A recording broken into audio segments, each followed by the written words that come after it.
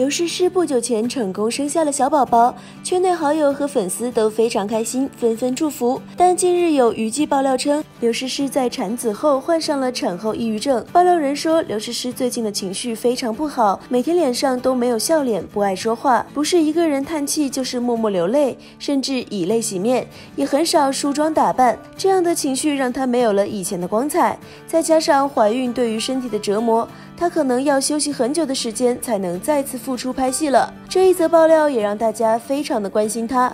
非凡娱乐实时报道。